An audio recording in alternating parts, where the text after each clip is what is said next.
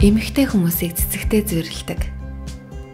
Тэднийг магтах, урамшуулах тусам урагаж үндийж цэцгэлж гайхалтай өнгийг гаргадаг.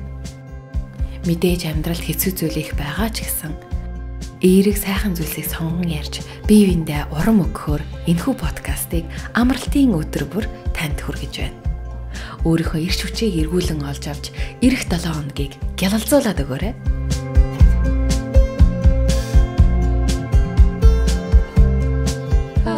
Positive Mongolia. Сайн байцгаана уу? Дүлгөөн подкаст маань эхлэхэд бэлэн болсон байна.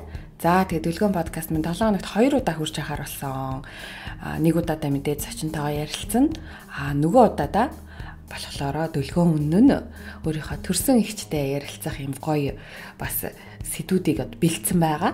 Тэгээд та бүхэндээ 7 хоногийн амралтын өдрүүдээр 7 хоног бол амралтын өдөр танд одоо дараагийн 7 хоногийн ирч хүчээ нөхөх гайхалтай тэр мэдрэмжийг өгөхөөр ихч таа бид хоёр ингээд маш гой гой зүйлсийн талаар ярилцж яхаар болсон. Тэгээ өнөөдөр бол анхны дугаар байлаа.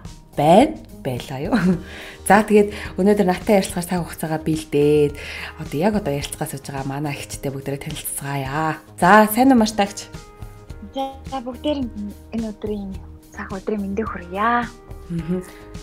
За Мартагч маань өөрийгөө жоохон танилцуулж дээ манай сонсож байгаа хүмүүст. За тэгээ би дүлгөөнийг яг яг дээдлэг нэрч тэгээд намайг Март гэдэг одоо 32 настай. Ингээ шивэдэд дүүтаа цуг амьдарч байгаа. Хоёр хүүхэд нөхрийнхээ хамт ингээ шивэдэд ажиллаж амьдардаг. Аха. Дүүтаа цуг гэхэлэр хүмүүс хамт амьдардаг ойлгочих үү дээ. Хотлаадлаа. Тэ чи блогийг үтэн. Аа тэгээд манай ихч маань надаас 2 насаар ихч байгаа. За тэгээд тэрнээс дэш нэ манай дараагийн ихч бол 3 насаар ихчтэй танаас цэцаагч чинь. Надаас 3. Тэгээд тэр дээдлэг өнөрөгч чинь цэцаагчаас 3 насаар. Тий. Ингээд дээр ингээд ихчдүү дөрүүлээ бид нараа яадаг. Тэгээд бид нар бас подкастаараа дөрүүлээс ярилцж яхаар ярилцсан байгаа. Тэгээд ихчдүү нараас хоорондоо ярихлаараа заавал ингээд нөгөө нэг илдээ энзийн хэрэгтэй хэрэггүй сонин ачин одоо ховж ярих биш. Бас би юунтайгаа ингээд өөр сайн сайхан зүйлүүдийн талаар ярьж бас цаг хугацааг гоё үр өгөчтэй өнгөрүүлж болох юм аа гэж ярилцаад би тэр 7 хоног болгон энэ подкастыг өөрсөндөө ч эерэг өгөөч үр дүнтэйгээр дээрээс нь сонсож байгаа хүмүүст бас эерэг мэдрэмжийг өгүүлэхээр ингээд бэлтгэж хийхээр болсон. За. А подкаст эхлэхээс өмнө хоёлаа ойрын сонио ачингаа нэг ярилцаад эхлэе. За тэгье. За танаар сонио ач. Энэ 7 хоног ч одоо хэр өнгөрч байна? Аа энэ 7 хоног. Сүүлийн үед ер нь тий Тэгээ энэ 7 хоног нөө манай эцэг чинь аягүй гой нар гараад өвлжөнгөө нар байхгүй жаад энэ 7 хоног аягүй гой нартай аягүй сэтгэл санаа улам өдрөг. Тийм таахан цаг агаар аягүй гой дулаараад гоё л 7 хоног болж өнгөрлөө миний бодлоо. Аа. Харин тэглээ те байнга нөө харанхуу шахуу байсараад одоо л нэг гоё нартай залгаж ш те. Тийм Монголд байдаг бахта тэр тэр сайхан нар нарыг өстө сайхны мэдэрдгүүлээс юм байна нарнаас цогтаа. Харин би харалч нь гээл. Тий, одоо бол зур наад гарахаар ингээл өөдөөс нь нүдэн айл ингээл хараа штэл төгсдөг болсон ш. Харин тий, тий. Яг тэг чинь. Аа а бас нэг юм нэрээ сануулад манай сонсогчтой хэлэхэд одоо нөгөө хоорондоо бид хоёр жишээлбэл одоо янз бүрийн юм ярьлаа гэхэд янз янз зэл сэдв ярьж болж байна. Хамгийн гол нь бид хоёр бүр албаар зориудаар өөртөндөө сайхан мэдрэмж төрүүлэхийн тулд өөртөө бас датлагжуулахын тулд бас сонсож байгаа сонсогчтой сайхан мэдрэмж өгөхийн тулд одоо сонин хачин ярьж байгаа сэдв мэд бүх зүйлсийг дандаа айл болох ингээд эрийг сайхан талаас нэмнүүдийг харж ярихыг бол хичээж байгаа юм шүү. Тэрнээс л бид хоёр одоо ингээд амар мундаг сайндаа амар позитив эрийг хүн болохоор ингэж яриад байгаа юм бол биш шүү. Тэгэхээр бид хоёрын цаашдын подкаст дандаа хүнд сайхан мэдрэмж төрүүлэх ийм эрийг сайхан зүйлсийн талаар ярилцж байгаа юм шүү гэдгийг дахиад сануулчих тий. Тэгээ ингээд бид яг энэ талыг нь одоо сонгож илүү их ярьж байгаа учраас энэ подкаст маань дандаа эрийг зүйлсийн талаар ярилцах байгаа шүү. За. А юуны энэ 7 хоногийн одоо ярилцах байнгын сэдв болвол заавал энэ 7 хоног гэлтгүй ер нь сүүлийн үед танд одоо хамгийн их юу өгсөн урам зориг өгсөн зүйлс ямар зүйлс тохиолдвоо? За таныг ярьсны дараа би яарь. За. Тэгэхээр би чинь сүүлийн үед За хамгийн эхлээд гэх юм бол сүүлийн үед ер нь подкастыг нэлээд бүр эргэлт буцалтгүй нэлээд орж байгаа донтож байгаа. Тэгээ янз бүрийн подкаст байгаа. Тэр дундаас Сэхэтэн тэгээ Positive Mongolians-ийн подкастыг ихвчлэн сонсож байгаа. Тэгээд аа тийм маш их ирчүүч энерги те эерэг зүйлсийг мэдэрч одоо нисч чадхаар дүүлж чадхаар юу ч хийж чадхаар тийм амар их урам зориг авч тэгээ яаж итэл ингээд цаг агаар сайхан дулаараад хавшаад айгүй ирч хүчтэй бас үлээ бүр ядрахгүй нойрмор хөрөхгүй шөнөтөж чадахгүй айгүй гоё үлээд за тэгээд төвшөө дэлгөөнийхэн подкастыг мэдээж итгэвтэй сонсдог блогийн байнга үздэг тэгээ дээрээс нь сэхэтэн подкастыг бол бас маш итгэвтэй сонсдог. За тэгээд Око Окно Бат Октябрь гэж залуу Око Д гэдэг инстаграм хаягтай. Тэр залуугийн бас нөгөө подкастыг сүүлийн ганц нэг өдөр сонирхож сонсч үзсэн надаас маш таалагдсан. Ер нь тийм эерэг хүмүүсээс би ингээд айгүй хэрэг нэрэг авч байгаа зүйлээ. Жишээлбэл яг юу нь таалагдсан? Ямар яг яагаад яг ямар хэлсэн зүйлс нь таалагдсан? Манай сонсож байгаа үед сонсогчтой жишээ болгоод яг ингээд за ингээд за жишээ яхад психиатрнэр орчоод жишээлбэл ингээ хүмүүсийг жишээ аваад яриа л да. Айгу олон мундаг залуусын төлөөлөлтэй энэ тийм ингээ айгу амжилттай ажиллаж амьдарч сурч хөдөлмөрлж явж байгаа залуучуудтай ингээд ярилцсан байлаа ихчлэн. За тэгээ тэднийг ерөн сонсоод хад хүн амжилтанд хүрч одоо өөртөө ихтэй мундаг байхын тулд эхний ээлжинд яах ёстой юм бэ гэдгийг бол үнэхээр одоо бүр өөрийнхөө боддог байсан ч бодлыг бүр үнэхээр баттгаж одоо авж байгаа гэсэн үг нэгсэн доо. Өөрөөсөө л өөрчлөлтийг хийх юм байна. Хүн өөрөө эхлээд ямар сандаа Монгол ардын зүрх зүг байдаг штэ. Биед цад гэрээ зас, гэрээд цад төрөөс гэд. Тэр бүр үнэхээр үнэн өөрийгөө эхлээд хүн засч өөр дээр өөрчлөлтийг хийж иргэн тойрны хүмүүс маань над дээр гарсан өөрчлөлтөөс эерэг ингээд мотивац сэтгэл авч над би ингээ гоё тэр эерэг зүйлийг түгээж тэгээд тэрнээс цаашлаад гэр гэр орноо ингээ сайхан эерэг болоод цаашлаад нийгэмтэй уус маань ингээд аюугаа эерэг болох юм байна. Эсвэл би тэрэн дээр маш их ажиллаа. Тэгээд хүний хувийн зохион байгуулалт тэр хүний өөрийн одоо амьдралын хөвшил рутин те тэр мэр одоо тэр амжилтанд хүрсэн хүмүүсийн ингээ юмыг сонсохоор үнэхээр тэд нар үнэхээр хөдөлмөрч маш мундаг те амьдралын рутин бусад энгийн хүмүүсээс яалч ондоо өндөр түвшинх байж чадж байгаа болохоро тийм амжилтанд хүрсэн байна гэдэг маш сайн ойлгоод өөр дээр бас тэрийг хэрэгжүүлэх гэж айгүй хичээж явж байгаа зүйлээ. Аа. Аа. Айгүй маш хөдөлмөрчлөх хэрэгтэй юм байна. Ямар ч ямар ч саад бэрхшээлийг тулж давж гарах чадвартай тийм сэтгэлийн тэнхээтэй тий. Аа бол тийг санагдсан. Тиймэрхүү. За, тийм эрч хүчийг авсан аа. Аха. За, миний хувьд. За, чиний хувьд. Миний хувьд. За, би энэ 7 өнөخت нэг ном уншсан. За, тэгээд нэг номоо би уншичаад төгсгөл хэсэг дээр нь жоохон ингээд төрдөө орхисон байгаад байсан. Өчигдөр орой төгсгөлийн уншиж дуусгасан. Тэгээд тэр ном бол одоо ерөөсөө энэ сүүлийн 7 хоногч биш энэ сүүлийн сарч биш ерөөсөө хамаг юмыг мартуулаад болсон бүх процессыг мартуулаад одоо ерөөсөн ном л миний толгойд эргэлдээд байгаа. Тэгээд тэрэн дээр юуны талаар гарсан бэ гэхлээр надад амар их урам зориг өгсөн, амар гой гой мэдрэмжүүдийг өгсөн тэр ном. Би ингийн амьдралыг сонгосон гэд одоо би одоо сүүлийн үед баг хаасайгүй л ярьж байгаа энэ номоо тий. Инстаграма, Facebook гэл хаасайгүй л үнэхээр таалагдсан учраас би энэ номыг их ярьж байгаа.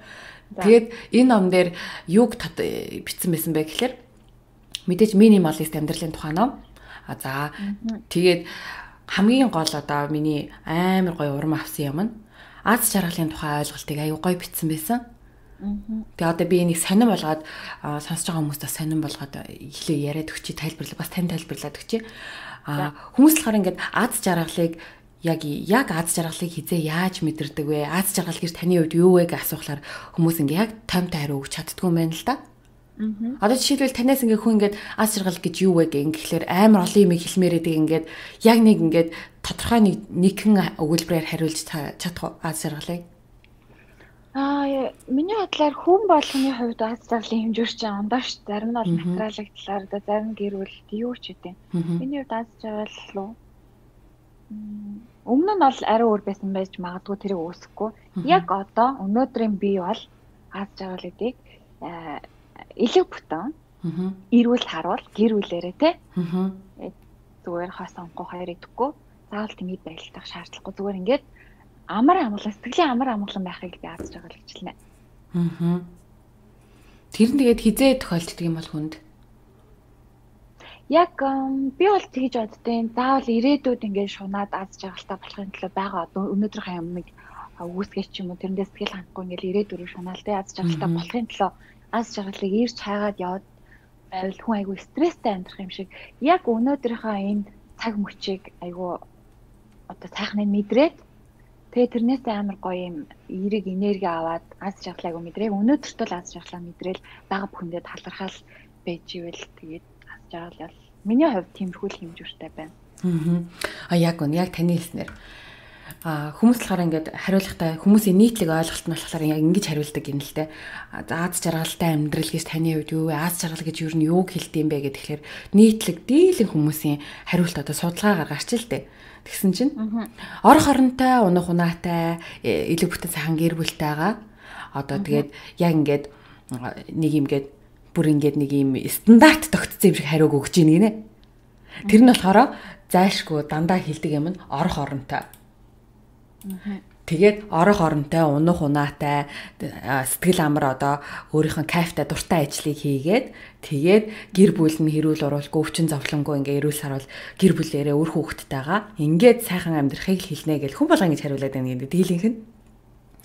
А тэгсэн чинь яг үндэ болохоор ингээд нөгөө яг тэр нөгөө хүмүүсийн мөрөөдөл нь болохоор одоо нэг тиймэрхүү нэг ятар нэг залуу гэр бүл нэг тиймэрхүү машинтай болчих юм бол тийм байртай болчих юм бол одоо аз жаргалтай болно гэсэн юм ойлголт нь болохоор яг үнэндээ болохоор аз жаргалыг авчирдаг зүйл биш юм байна гэдгийг тэр залуу одоо маш олон хүмүүсийн сэтгэл судлаачид хийсэн судлаачдын ингээд юунуудаар гаргасан байна.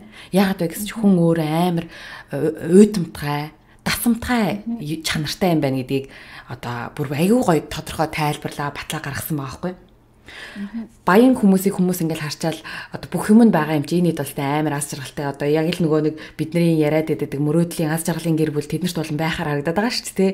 Нөгөө л нэг бүх юм нь биелээ ингээл аа сайхан ажилтай, сайхан байртай, сайхан унахнаатай гэр бүл ингээ сайхан ингээл харагдах байдлаар бол амар гоёгаад гítл яг үндэ хүмүүс эд зүйлсээс амар хурдан уйддаг юм байна гинэ.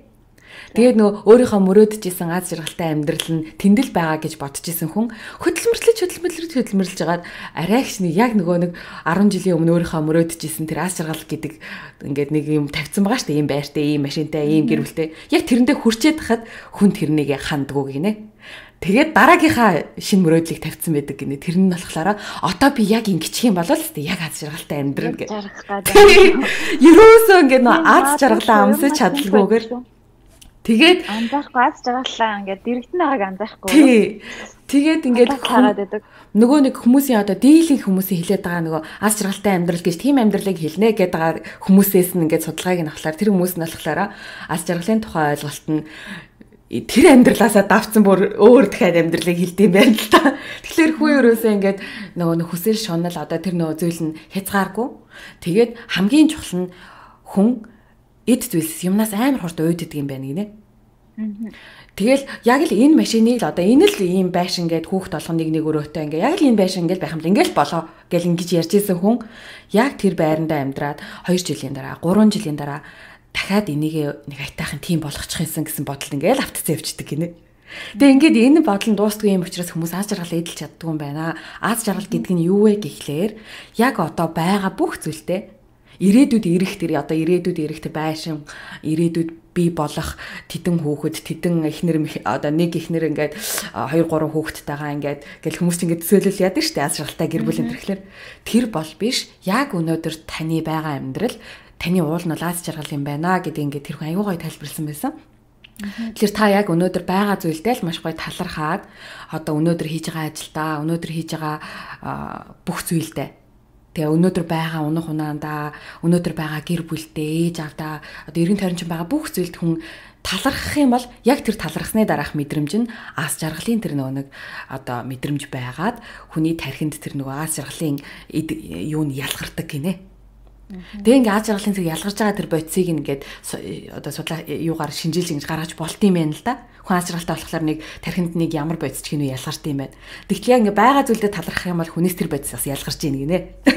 Тэгэхээр аз жаргалтай байна гэдг нь ерөөсөө хизээч байж одоо ирээдүйд биш яг одоогийн амьдралдаа талархаад ингээ хамбал хүн болгонд байж болох юм зүйл байна шүү гэдгийг тэр хүн ингээ аюугай тайлбарлсан байсан. Тэгээ аз жаргал юм гурван зүйл хуваагдсан байна 40% нь нийт одоо 100% аз жаргал байлаа гэж бодоход тэрний 40% нь удамшлын гаралтай. 10% нь нөхцөл байдлаас хамаардаг. Үлдэгдэл 40% нь өөрийнх нь үйлдэлээс хамаардаг юм байна гэж судлаач гаргасан юм байна. Удамшлын гаралтай 40% гэдэг болохоор хүмүүсийн төсөөллөөр болохоор одоо царайлаг төрчих юм бол эсвэл амар авьяастай төрчих юм бол Эсвэл одоо гэр бүл нь ингээ удам өгсөө сайтай байгаад ингээ төрчих юм бол өөр удмын нэг аттай авьяастай аз жаргалтай амьдрын гэж төсөөлт юм байна л да. Тэгтэл тэр 40% нь тэрнээс шалтгаалаагүй цаанаас нэг тийм бүр амар баясгалантай байгаа юм да угаасаа ингээл хүн хүнээрс бараг хилүүлж яалгалтгүй тийм хөнгөн сэтгэл зүйтэй айгүй амархан баярлдаг инээдэг хүнд ерөөсөө нэг гомдож туниад ээдэггүй тийм хөнгөн сэтгэл зүйтэй хүмүүс одоо төрөлхийн удамшлын тийм хүмүүс байдаг гинэ. Тэр хүмүүс босод хүмүүсээс илүү одоо илүү аз жаргалыг амархан мэдрээд идэг гинэ. Амар хурдан эерэг болчдаг, юмыг дандаа зөв талаас нь арчдаг ч юм уу эсвэл амар хурдан баярлдаг ч юм уу те. Тийм бүр төрөлхийн тийм чанартай хүмүүс байгаад энэ үнийг нь ингээд хүний яг 100% аз жаргал байлаг тэрний 40%-ийг тэр эзлээд байна гинэ. А хэрвээ тэр нь байхгүй бол хүмүүс ингээд сэтгэлээр унах шаардлагагүй. Тэрийг нь үйлцэн өөр нөгөө 40% 10% гэж би ярьсан шүү дээ Тэрний юу байгаа вэ гэхээр 10 нөгөө нэг 10% нь болохоор нөхцөл байдлаас хамаардаг гэдэг нь яг амьдрын амьдралын төвшин одоо нөгөө саяны яриад байсан уунах унаа барих маш хийх ажил мэл бол нөлөөлөх нь нөлөөлнө. Гэтэ энэ бол 10% дээр. Тэг байгаа зүйлдээ л талархчих юм бол энэ 10%-ыг хүн ингээд дүүргэж чадах юм байна. За нөгөө өөрөөс шалтгаалах үйлдэлийн 40% гэдэг нь дандаа хүн одоо ямар зүйл сонгож хийхээс шалтгаалж аз жаргалыг хүн мэдэрдэг юм байна гинэ. Өөрөө ингээл тэр зовлонтой амьдралын сонголтуудыг хийж сонгочхоод өөрөө тэрэндээ бухимдaalах юм бол одоо ингээл өөрөө айгу аз жаргалгүй амьдраад байна. Тийм. Өөрөө аз жаргалтай байх тэр үйлдэлүүдийг хийгээд амьдрах юм бол бүхэл бүтэн одоо аз жаргал гэдэг энэ кайф мэдрэмжийг биедээ мэдрэх тэрний 40%-ийг өөрөө ингээ үйлдэж бий болгох боломжтой юм байна гинэ. Тэгээд хүмүүс ингээд дээлийнх нь ингээд тэр сонголтуудыг их ингээд баг хийдэг учраас одоо аттай нэг нь стон удамшлын гарлаар гэдэг цаадаас сэтгэл санаанд тийм хөнгөс байгаа хүмүүс яг аттайгаар ингээд ачралтай. А яг сонголтоо хийдэг өөртөө зөв үйлдэл хийж байгаа хүмүүс нь бас ачралтай. Ингээд аль алиг хийж чадах хүмүүс нь айгүй баг ачралтай байгаа юм байна. Аа. Ингиж тайлбарлаж. Яг тийм өөдрөг амар өөдрөг үзэлтэй хүмүүс байдаг шүү те. Байдаг те. Яг байдаг. Түгээдэг. Яг надад чирсэн надад шууд нэг хүн ингээд ингээл талгаар орж дээ Тийм үү. Тийм таньдаг хүн байдаг айгүй гоё эрэг нэрэг дандаа татчих явждаг. Тийм хүмүүстэй цуг хараа явгаа идэв. Танаасаа бүр нэгч хүч ундраа. Тийм. Тэгэл өөр ирэхгүй ингээ юмыг харах өнцгөн хүртэл ингээ шал өөртэй. Тийм хүмүүст. Харин Тэгэхээр ийм гоё байдгийн бим зүйл байдгийн бэ шүү сонсогчдоо. Тэгэхээр аз жаргал гэдэг зүйлийг одоо холоос эсвэл ирээдүйд ирнэ гэж ирээдүйн 10 жилийн дараах төлөвлөгөөндөө тавилгүйгээр тийм өнөөдрөөс эхлээд аз жаргалаа тийм Тэгэл ээж болсон би чи хоёр хүүхэдтэй. Хоёр хүүхдээ хараад бүр ингээл амар хайрал амар аз жаргалыг бүр аим мэдрээл. Аа. Жишээлбэл тий хоёр хүүхдээс ол мэдээж ээж хүн аав хүн бол маш их аз жаргалыг мэдрэн өдөр тутамдаа хідээж хувиршгүй хайр тий. Аа.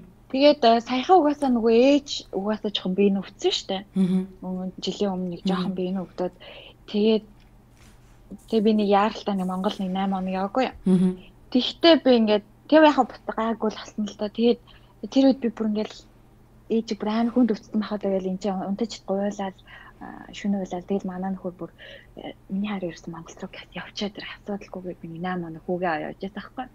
Тэгээд буцаад ээж гайг болсныг би нүдэрээ харчаад тэгэл санаа ингээд тайвширчаад ирээл би бүр улам ингээд зүгээр л илүүдтэй надад ерөөс хэрэггүй бүр улам улам тийм болж байгаа байхгүй. Зүгээр л ээж аав нь ирүүл саруул те гэр бүл маань ирүүл тайван гэж аз чухалтай. Тэр шиг сайхан байхгүй юм би. Уулам ихээр ойлгосон. Аа. Харин тийм шүү дээ тий.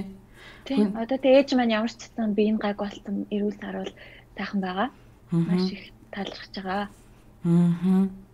За талархаж байгаа гэдэг дээрээ өршлүүлээд талархлын тухай ярина. За. А бид нэрээ бас амьдралтаа айгу одоо манай Монгол үндэстэн маань мон үндэстэн одоо үндэстэн гэж Монгол хүмүүс маань ер нь талархах тал дээр бол дотроос сэтгэлдээ бол маш сайхан талархдаг хүмүүс. Тэгээ би юундээ талархсан сэтгэлээ ингээ илэрхийлдэг хүмүүс. Бас харьцангуй ингээ тийм юу маш сайхнаар биеиндээ талархлаа илэрхийлдэг тийм арт хүмүүс гэж би бол боддог.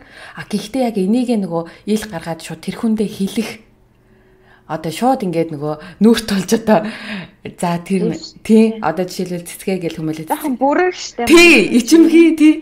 Цэцгээ чи надад ингээд ингээд ингэсэн чинь би чамд амар талархаж байгаа шүү гэд шууд ингээд хэлэхдээ жоохон маруухан тий. Аха үнэ Тэгээ яг тийм учраас бас манай байгаа сонсогчид маань бас сэтэл аваасай. Дээрээс нь таг тэр ч гэсэн энийг өөртөндөө зуршил олгоё гэгээд а юу подкаст болгон дээр хоёлаа амралтын өдрийн подкаст болгон дээр хин нэгэнд дандаа талархлаа илэрхийлж ивэл ямар вэ? Бүр яг олоод тэр хүнийгээ яг би тэр хүн тэгсэн учраас талархаж байна гэд. Тийм болно шүү. Эсвэл тэр хүн нь заавал хүн хүн биш байж болно шүү дээ. Өөр юу ч хийж болно шүү дээ. Тийм ээ тийм. Би тийм юм талархаж эсвэл энэ амьдралдаа ч юм уу тий. Хоёулаа энийг өөртөндөө датлагжуулахын тулд 7 хоног болго энийг хий. А сонсож байгаа сонсогчид маань бас яг энийг сонсонгоо а подкаст минь доор комент үлдээгээрэй. Комментэн дээр та хинд талархаж байгаа, юунд талархаж байгаа тэрийгээ бас ингээд бичиж хуваалцаарай. Тэгээд таны бичсэн тэр гайхамшигтай комент чинь маш олон хүмүүст уншигдаад хүн болгон тэр гоё энерги тэр гоё мэдрэмжийг өгөх юм шүү. За Марта хичээс эхэллээ. Тэгээ чамаас эхлэе. Би яг бодоод яг За тэгээ. За. За. За энэ 7 хоногт болохоор яаж ийна? Мм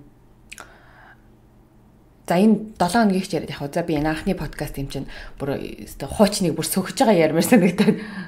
Тийм ээ тийм тий. Аха. Аа. За би төвшөөдөө талархъя. Аа За яагаад та төвшөө талархаж байна вэ гэхээр одоо хүмүүс влог үзэл харсан байх. Намайг ямар амар ааштай болж байгааг. Тэгэл смартагч харсан шүү дээ. Намайг таны хажууд би нэг төвшөр уцаар яриад хар яр гэж ярьсан чи та. Чи ямар амар ааштай ингээл энэ мэдчлээ. Би ингээд нөгөө өөрийгөө бүр ингээд баримаар байгаа байхгүй. Тэгсэрнээсээ ингээд өөр ирэхгүй бүр гэл нэг трактор шиг тодроос бүр Тэгэл энэ нэгэ мэдээд байгаа хэрнээсээ л ингээл өөр ирэхгүй заримдаа бүр ингээл нөө уяа налдарс нохоо шиг бүр аваа аваа гэл муухай аш гаргачихад байхгүй. Тэгэл Тэгэл ингээл нэг жижигхэн юм дээр хүртэл ингээл дугуй аж чадахгүй чав чав чав чав гэл ингээл дараа нь бүр өөрийгөө бодохоор ёо би ямар аимшигтэй юм бэ гэл ингээл бодоод. Тэгэл энэ бүхэнд маань хөөх юм ин тэгээд ерөөс хамгийн их өртөж байгаа хүн бол төвшөө. Одоо Би сая бас нэг нэг 10 хоног ээжинд байхдаа бас ээж рүү бас ингээл тавж авч авч гэл өгөлчих гээл. Тэгээ ээж бүр хүүе чи чинь гэж намайг бүр гайхал. Юм өмнөд ингээл өөр ирэхгүй ингээл гошоо дүрээл. Тэг би бүр өөрийгөө гайхал. Яана би бүр яриачтэй гэл дотроо болоо. Тэгээд яг энэ үеийг маань одоо энэ үе маань удахгүй дууслаа да дууслаа энийг маань маш сайхан ойлгоод тэгээд хажууд ингээд яг төвчээртэй заримдаа хөөх юм надаас улбаалаад үргэлжлээд өөрөө ч бас өглөө болцол явж байгаа юм тэг шүү. Тэгэл энэ болгоныг маань ойлгоод ингээд байж байгаа төвшөөд маш их баярлж талархаж байгаа. Тэгээд ингээд намайг ингээд муу хааш гаргасан ч гэсэн ингээд янз янз болохгүйгээр яг ивэ маань олоод лгөнөө лгөнөө гэл ингээд байгаад амар их талархдаг. Тэгээд ийм сайхан нөхөртэй болсондоос амар талархаж байгаа. Тэгээ би энийг бас жишээ олгоод хэлье. За. За өөр өөр талархсан юм байгаа юу? Бага штэ. Мэдээж талархсан юм зөндөө зөндөө байгаа штэ амар байгаа. Тийм. За би бол энэ байр түрээсэлдэг хүндээ бол маш их талархаж байгаа.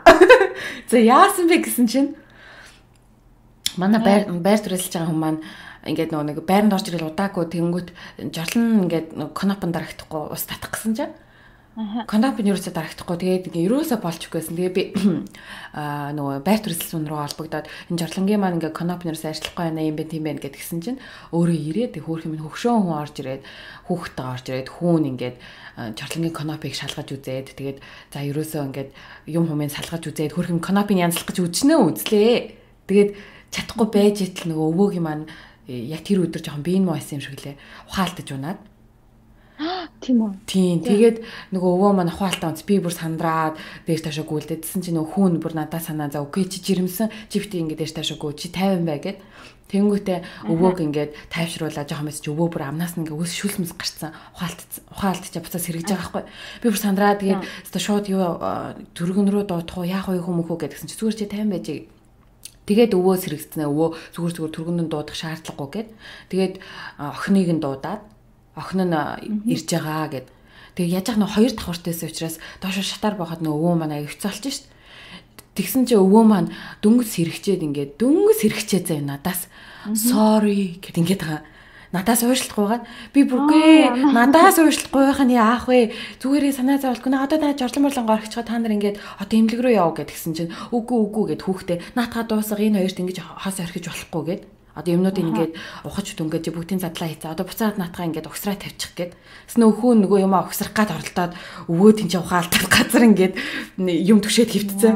Би бүр сандраад үгүй наатгаа орхино чи манай нөхөр ирээд ингээд эвлүүлээ хийчнэ. Та зүгээр л наатгаа ингээд орчих ингээд хаавыг аваад доош буу гэдгсэн чи нөтх нь бүр сандарсараад амар хурдан гэл буцаа эвлүүлээ тавьцсан тэр хооронд чи бас нэг хэдэн минут болж байгаа штэ. Тийм амар сэтгэл сайтай. Би бүр санаа зов. Тэгээ хүүн бас надаас ууршлахгүйгаад. Үгүй яагаад надаас ууршлахгүйгаад байгаа юм бэ? Би бүр өөрөө санаа зовоод. Тэгээ тэр хоёр арайгч муу босоод хүүн аавыгаа түшээд ингээд доошооноо буугаад арайгч муу шатаар бууж байгаа. Шатаар буухтаа бүр ингээд толгоон ингээд бүр талиагаад би тэг яг тэгтэл ингээд тэр өвөөг сайн харсан байхгүй. Өмнө нь болохоор ингээд хайлт хайлт хараад тэгтлээ ингээд харсан чинь хөөх юм 71 настай. Тэгээд бас нилээн хөшөрсөн. Тэгээд толгоо молгооны яби ингээ араас нь хараа явж үсмэс нь унаад чаавас нь нилээн л хөшөн харагдаад би тэгэл ивидээ чаавас ингээл тэгэл амар өрөвцсөн тэр хүнийг. Тэгээ яг буугаад нэг давхарт ирэнгүүтээ гутлаа өмсөхдөө над руу харснаа дахиад стоожлаараа би чамайг айлгачлаа гэд. Үгүй эгүй санаа зов болтгүй өстэй ёстой хамаагүй гэд. Тэгээ би тэр үнийг явуулсан юм. Тэгсэн чинь яваад тэгээд эмнэлэгт очиж үзүүлээ шууд эмнэлэгт яралтай хэвтэхтэй болоод тэр өвөө эмнэлэгт хэвсэн байхгүй. Тэгчүнгүүдээ эмнэлгээсээ над руу мессеж өчээд Нөө нэг нөө жорлонгийн чи өнөөдөр би заавал засуулт дуусгана та хоёрыг ийм ингээ жорлонтой байлгахгүй ста уучлаарай энэ гэж бичлэн. Үгүй өвөө та санаа зовлтгүй та бие бота ингээ эхлэн ямарс эмчлүүлчих тэгээд эмнэлгээсээ гарсныхаа дараа бол юм болоо. Яриа үдсэн чинь хаалга дуурайд орой. Хаалгаа онгойлгосон чинь хүүн нэг найцтайгаа ирсэн. Шив шин том жорлон төрсөн. Би бүр цаачаа жорлоныг сольж өгсөн юм? Хөөх юм. Тэгээ би бүр цаачаа хүү яах чи гэдгсэн чинь тэр жорлон угаасаа ингээд утцсан тэгээд коноп коноп нь юу болохгүйсэн ингээд жорлонгийн нэг мөсөн сольж солихоор боллоо гэд. Аха. Тэгээ тэр хоёроо ороод жорлон гэстэн сав гэл амар хурдан солиол янсаал тавьсан. Тэгсэн чинь бүх юм ингээл тэгэл аим бүр иргэн тойрны арчаа цэвэрлээ заяо. Жорлонгоо сольчоод иргэн тойрны бүгдийг арчаа цэвэрлээ буцаа янслаа тавьсан амар хөөргөн сэтгэлтэй дээд нь болохоор Бангладеш хүмүүс ахгүй юу?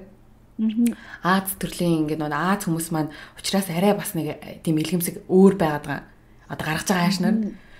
Тэгээ би бүр амар баярлсан. Тэгээд амар баярлсан ёстой. Ямар амар амар талархсан. Тэгээд өөрөө өвдсөн байгаа хэрнээсээ нөгөө хөрх юм намайг жирэмсэн гэж санаа зовоод Тэгээд жирэмсэн гэдэг дээр хөөх юм ин уушлал гуйгаал тэр нэг асуудлын гялс янзлаад өгчээ гэл амар хичээгээд ер өөр хүмүүсээсэн бол мэдээж ингээл за гэл хойшлуулаад хийвч байж болно ш бид нар ч бас ойлгоно ш. Тий.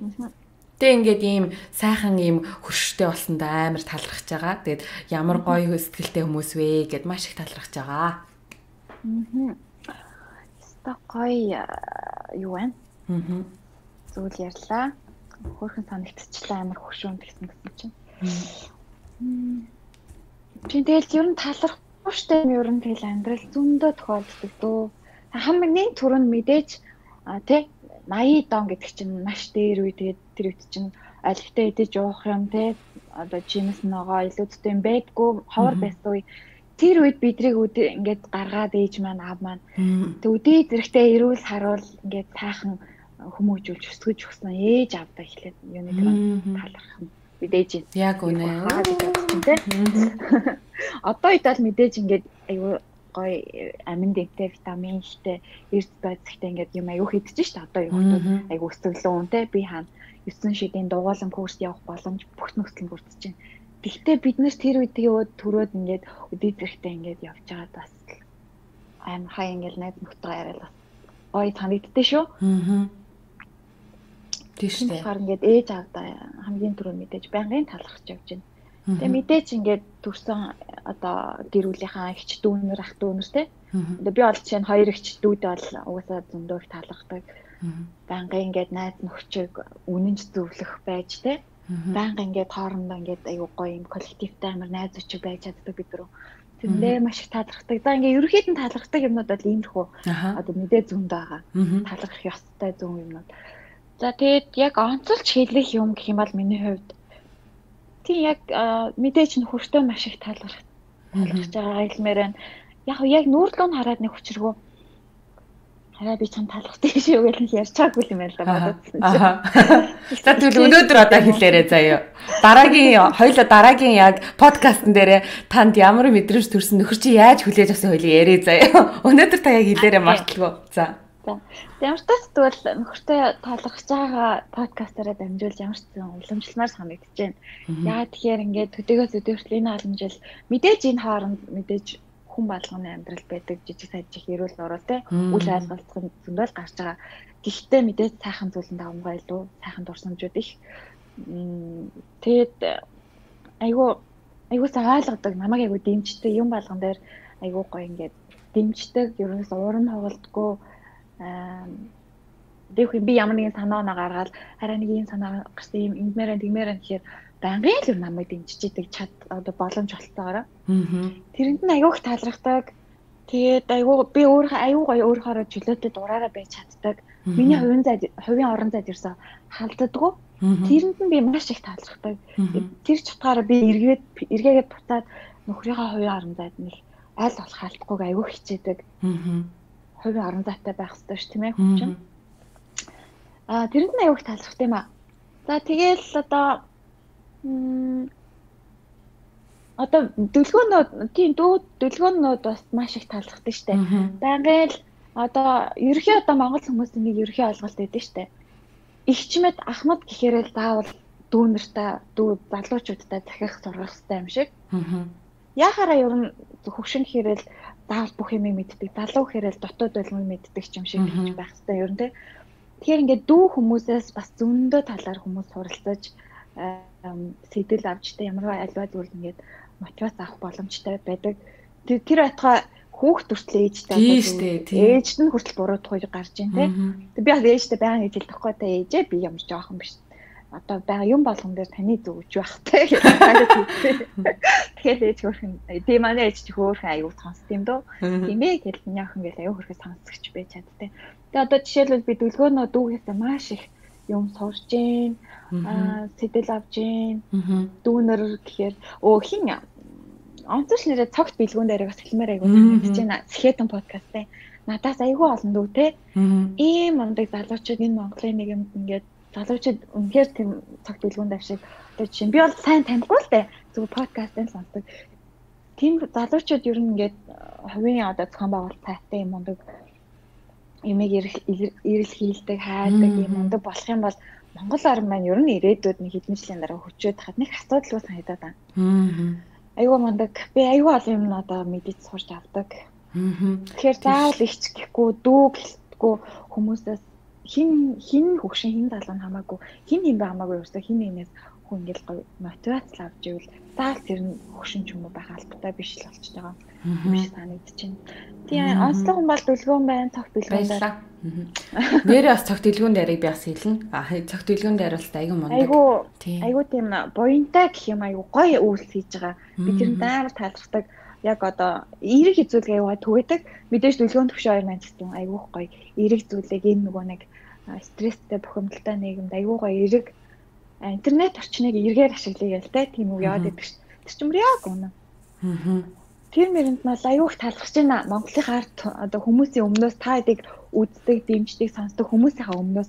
Аа. Нэг хэлмээр санагдчихсан шүү.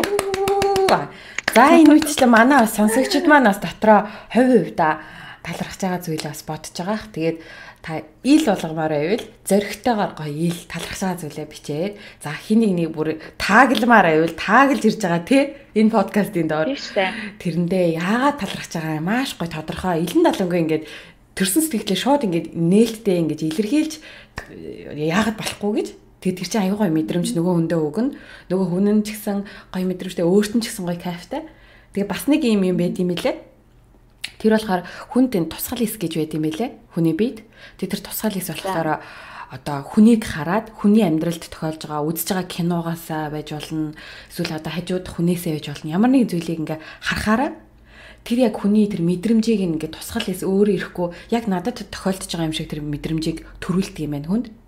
За Тэгээд одоо жишээлбэл нэг кино байлаа. Гэхэд тэр кинон дээр ингээд нэг хүн амар хэцүү амьдарч байсан чинь нэг хүн гарч ирэл туслаад энэ төр гэл тэнгүүд яг хүн тэрийг үзэж явахдаа тусгал ис гээд байгаа юм нь хүний биед. Яг тэр одоо зовж байгаа хүний эргээд хүнээр туслуулж байгаа тэр мэдрэмжүүдийг өөрт нь өгж байгаа учраас яг ингээд яанаас тэр хэрэв би ингэсэн бол яана гэж бодоол ингээд дагаж уйлаал дагаж баярлаал ингээд амар сэтгэл хөдлөж үздэг штеп Ингиж нөлөөлдөг юм байна л да. Тэгээ тийм учраас тусгал эс гэдэг юм сайн юм дээш тэр муу юм дээш тэр аль алин дээр ингээд одоо тэр мэдрэмжийг хүнд өгч идэг юм байна. Одоо муухай юм болох нь яанаас надад ийм тохиолдол яана тэр гэж бодож хүлээж авт юм байна л да. Өөртөө дандаа тусгаж авдаг. Тэгэхээр аль болох ингээд хүмүүсийг баярлуулах юм бол тэр хүний одоо баярлаад авч байгаа талархаад тэр нөө талархлыг хүлээж авч байгаа тэр гоё мэдрэмжийг та өөрөө ингээд яг тусгаж өөртөө аваад өөрөө давхар баярлдаг юм байна. Тэг тийм учраас бусдыг баярлуулах нь одоо өөрөө баярлах аз жаргалыг мэдрэх тэр гол одоо төлхөөр байдаг юм байна л да. Тэгэхээр та ингээд өнөөдөр энэ комментоор хиний нэг баярлуулах тэр юм ихтэй харамгүй ингээд будаад өгөөрэй, бичээд өгөөрэй. Тэг өөрөө тэрнээс эргүүлээд гоё кайф авъя шүү. Аз жаргалыг мэдрээ шүү. Яг унаа. Аа. За за. За тэгээд өнөөдрийн маань би нэрээ ганц юм нэмэлчихвэ тань сэтгэвээр. За. Нэг айгу надад айгу мотивац болж өгдөг нэг хүний хэлхээ марцсан байна. За. Тэр нь хинбэ гэхээр чи угаасаа тань штэ нөгөө Туяа наран гэрэл гээд Facebook хаяа. А тийм тийм тийм. Тийм би бол Шведэд амьдардаг. Шведэд өөр хотод амьдардаг нэг тийм миний үеийн нэг эмэгтэй байгаа. Аа. Би Facebook био амьдрал гэх группийн админ. Дүүр тансал болж байна. Тийм био амьдрал. Хүсвэл тийм био амьдрал группт орж маш гоё эрэг их дэлхийгээ хайрлах тийм хайрладаг. Одоо э минимал амьдрал амьдралын хэв маягтай ч юм уу их дэлхийгээ хайрладаг тийм. Тиймэрхүү хүмүүс бол маш сонирхолтой маш гоё тийм уран зориг өгөхөөр айгу мундаг бүсгүүчүүлтэй гişүүдтэй айгу гоё групп байдیں۔ Тэр группийн админ Туяа наран гэрэл маань нэрээ. Зү би ингээд найз болоод а орсноос хойш өдий дүлгөөний чиний нөө подкастт орчихсон тий. Би тэрнээс хойш цамаас сонсоод тэгээ би найзлаа тэрнээс хойш таадаг болоод тэгээд яг хоо шууд хүн чинь юмыг нөгөө нэг харсан ч юм уу сонссон юм шүү 100 хэрэгжүүлж чаддгүй юм байна. Баг багаар ингээ амьдралдаа нөлөөлөд нөлөөлөд надад одоо тэр эмхтэй бол гэрийн одоо тий ах уу ямар нэгэн бодис шиг ерөөсө хэрэгэлдэг өөрөө дандаа хийдэг тэрийг. Айгу ингийн материал гардал материалаар хоргүй. Тэгээ байгаль дээлтэй. Тэгээд өөрчлөлөө. Тэгээ одоо жишээ нь дэлгар уутнаас тий хувцар санал татгал тэгэл айгүйх тэр тэмхүү юм маш их оруулдаг. Би тэр эмгтэй гэсэн сэтэл авч ямар ч тач гэлгарууд хэрэглэх хэрэглээгээ бүр маш их багасгаж чадчихаа. Энэ маань одоо нөхөрт нөхөрт бол манай хүүхдэд нөлөөлөд манай хүүхд одоо хүнсэнд явахдаа ээж нөгөө даавуудаа авъя гэж амин өөрөө. Тэгэл даавуудаа өөрөө нөгөө шургуулгын таанад гэдэг өөрөө аваад гардах жишээ нэ. Айгу бас эрэг нөлөөлж чадчаа. Тэг хүн болгон дор бүрнээ надаар дутуу гэж гэж ботгоогаар ингээд дор бүрнээ ингээд ихтлэгээ хайрлахын тулд жижигхэн ч гэсэн алхмыг хийгээл те. Дэмий ус гоожуулах хэрэггүй те. Наадах юм ингээд хогоогоо хаяхгүй ч гэдэм ингээд юу ч хийж болно шүү дээ. Чадхынхаа яриар баг баг амьдралдаа ингээд би бол ямар ч ихний байдлаар гялгар утнаас татгалдаж байгаа. Гэтэ бас хэцүү байлээ. Айгүй маш төвчээр шаардсан удаан ингээд жоохон хугацаа орж иж баг багаар өөрчлөлт юм шиг санагдсан. Огцон бүх юмаа ингээд амар шууд өөрчилж бас чадахгүй байлээ би. Гэтэ тий туяада маш их таалагдж байгаа. Олон хүнд тэр сайхан зүйлийг түгээж, эрэг зүйлийг түгээж тий. Тэгээ өөрөө дөрөв хүүхэдтэй гэртээ завгүй байгаа эмэгтэй хүн гэхэд залуу эмэгтэй амар мундаг тий. Ста мундаг. Мундаг гэрээдтэй бүр Айгу талархаад өвдөө шүү. Нэрээ тийм. За нэрээ туяада талархъя. За. Туягаас бас би бас улбаалаад зөндөө юмнуудаас ингээ өөрчлөлтүүдийг сонголтондоо хүртэл ингээ амар анхаардаг болсон шүү дээ. Яаж л Джеймс авахтаа, юм авахтаа хүртэл ингээ аа за одоо юм авах та текст ам нэгс зөндөө юм мэдэж авсан. Дээрээс нь бас за ингээл одоо талархах юм дуусахгүй нөгөө нэг юуны Sustainable Монгол подкаст гэж байгаа. Тэгээд тэр подкаст их дэлхийнхээ одоо сайн сайхны төлөө бас ингээд эрүүл зүйн амьдралын төлөө ингээд хүмүүсийг урайлсан байгаль дээлтэй юм зүйлүүдийг одоо хэрэгжилж татах тухай тий энэ одоо бүх одоо энэ пластик юм уу хэрэглэхэ болий одоо ийм байна, тийм байна, хотын одоо энэ цэвэр орчин ийм гэл маш олон зүйлүүдийн талаар ярьдаг. Би тэр юунаас подкастнаас юу савнгийн хэрэглээний тухай маш гоё ойлголтыг авч ирсэн. Гих мэтчлээ ингээд яг бит хоёр за энэ энэ бүх мэдээллүүдийг бүгдийг нэг дор пал гэж одоо ярихлаар хүмүүсийн толгой эргэх байх. Тэгэхээр хоёулаа нэг дороо хитрхийх юм ярьснаас а энийг хуваагаад дараа дараагийнхаа ярих подкастууд дээр ингээд мэдээлэлүүдээ өгөөд хүмүүс сонирхох юм бол тэр подкастуудыг орж сонсоод тэр хүмүүсийн хийж байгаа юмнуудыг бас орж ингээд групп руу дөрөв нь орж уншдаг юм уу тийм тэгж тэр подкаст чинь Америкт идэг нэг охин мөн Америкт сурдаг. Тэр чиглэлээр ч лөө. Подкаст Уг одоо нэг хоёр хоёр охин байдаг хаа тэр тэр хоёр Монголд байгаа одоо. Хоёлаа гадаадд сургуулаа төгсөөд ирсэн. Нэг нь болохоор тийм тэгээ хоёлаа Монголд байгаа Би тэгтээ бас яг тэр хоёр охины яг өөрсдийнх нь үнцэн яг түүхийг нь бол нарийн сайн мэдгүй. Яг л тэр хоёр өөрсдийнх нь түүхийг одоо нарийн маань их ярьдаггүй байхгүй юу? Тэгээд дандаа нөгөө тухайн тухайн салбарынхаа мэрэгшсэн тийм хүмүүсийг урьж оролцуулаад жишээлбэл одоо юуны миний тэр сонссон нөгөө нэг химийн бодис орсон одоо энэ савн савн одоо энэ бүтээгдэхүүнүүд шүү дээ. Аа савн бүтээгдэхүүн. Эдрээс одоо татгалзаад арай илүү юм био Тэгээ амьдралд ингээд бид нарт байгаль тайл айланд нь ингээд ээлтэй байх бүтээгдэхүүн гэвэл юу байж болох вэ? Тэг ялгаа нь юу юм ингээд тэгээ бүр эний чинь бүр ингээд орч найрлагатай тайлбарлаад ингээд аюугаа юм юм ярихад тэр хоёр охин мэдээж нэг өөртөөхөө сурсан одоо айж амьдарч исэн газар мазраа их яриаггүй. Яг тэр нөө мэрэгжлийн тэр хүн тэр хоёр охтод өөртөө судалж алсан юмнуудаа нийлүүлээд ингээд амар гоё ингээд мэдээлэл болчихж байгаа хгүй. Стол нэг мэдлэг өгмөр тийм гих мэтчлээ ингээд тийм подкаст гэдэг. За тэр подкастын талаар би дараа дэлгэрэнгүй дараагийн подкастн дээр дэлгэрэнгүй ярий. Тэгээд ер нь бол гой санаа төрлөө. А подкаст болгон дээр бид хоёр та нартаа маш гоё урам өгөх ямар нэг подкаст ч юм уу, ном ч юм уу, эсвэл групп ч юм уу, хин нэгэн хүний хувийн инста ч юм уу, фейсбુક ч юм уу дандаа ингээд санал болгож байна. Тэгээд хүмүүс таалагдах юм бол тэр хүний тухай өргөжлөө өргөжлөө авлаад өөртөө илүү гоё мэдээллүүдийг тэр их сурвалжуудаас нь шууд бас ингээ авч байгаарэ тий Тэгж нэр хоёлаа бас хүмүүст мэдээллүүдээ шеэрлж ивэл гоё юм байна За тэгээд өнөөдрийн маань подкаст энэ хүрээд өндөрлөж байна. Тэгээд өнөөдөр хамт байсан сонсогч та нартаа маш их баярлалаа. Дээрээс нь цагаа зарцуулаад дүнгийн ажиллаа тарсан ирнээсээ ажлынхаа дараа бас цагаа гарган надтай ярилцсан ихчтэй бас маш их баярлалаа. За намайг ойрж оролцуулсан Маш баярлаа дүүдээ. За тэгээ хоёлаа дараагийн амралтын өдрөөр дахиад подкаст эцгээе те. За тэгээ. За баяртай. Баяртай.